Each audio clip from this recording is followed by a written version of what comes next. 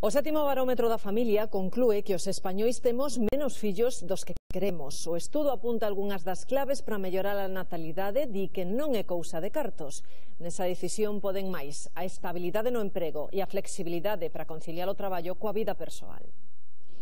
Xornadas laborais rígidas e prolongadas, actividades que rematan demasiado tarde o día a día deixa pouco tempo para a familia. Que el 90% de las familias encuestadas solicitan más flexibilidad en los trabajos, y también horarios más racionales. O barómetro de Family Watch apunta a estabilidade laboral emocional e o tempo como factores clave para ter fillos. Si es que realmente lo que queremos es que mm, podamos volver a que la gente pueda cumplir su sueño de tener 2,4 hijos, que sería su sueño, y sin embargo estamos prácticamente en la mitad, eh, la estabilidad laboral de los menos de 40 años es, es un elemento fundamental. As familias ven luces e sombras nas redes sociais e internet.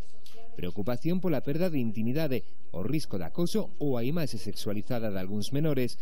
O estudo apunta un reto. Consumo del alcohol de atracón entre jóvenes porque aí vemos como precisamente unha falta de formación de implicación de las familias chamada de atención para educar no consumo do alcohol dentro da casa.